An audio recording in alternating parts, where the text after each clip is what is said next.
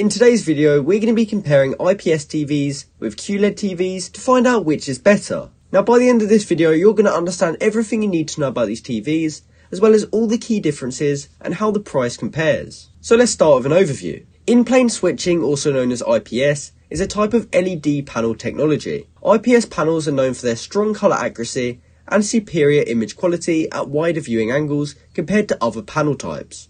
However, they have lower contrast ratios and not as deep black levels compared to VA panels or OLED panels.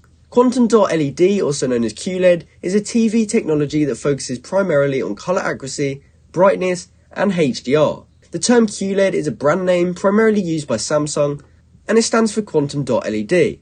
This technology uses a quantum dot layer that some TVs include, ensuring a wide colour range. QLED TVs are known for their ability to produce saturated and accurate colours, bright images, and maintain colour accuracy from wide viewing angles. So what are some of the key differences? To start with, colour accuracy. Both IPS and QLED TVs offer good colour accuracy, but QLED TVs are known for their ability to produce more saturated and very accurate colours. Another difference is the viewing angles.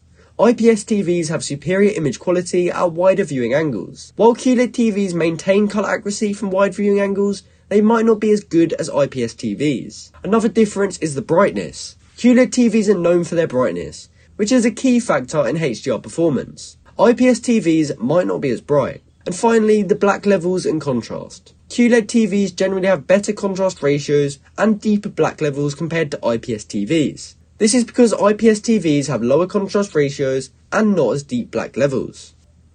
So how does the price compare? As of 2024, the prices for both IPS and QLED TVs can vary significantly based on the brand, size, and specific model. Here's a general comparison. You can find budget-friendly IPS TVs for under $500.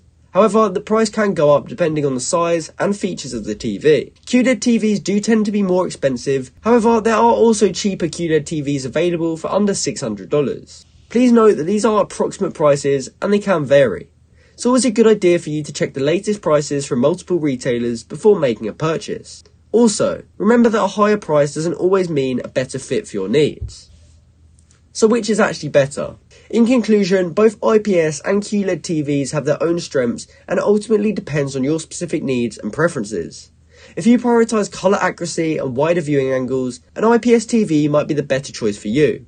They're also generally more affordable, making them a great option if you're on a budget. On the other hand, if you're looking for a TV that can produce saturated and very accurate colours, bright images, and maintain colour accuracy for wide viewing angles, a QLED TV would be a better choice. They do tend to be more expensive, but they also come with additional features that can enhance your viewing experience. Remember, the best TV for you isn't necessarily the one that has the best specifications, but the one that fits your viewing habits, room conditions, and budget.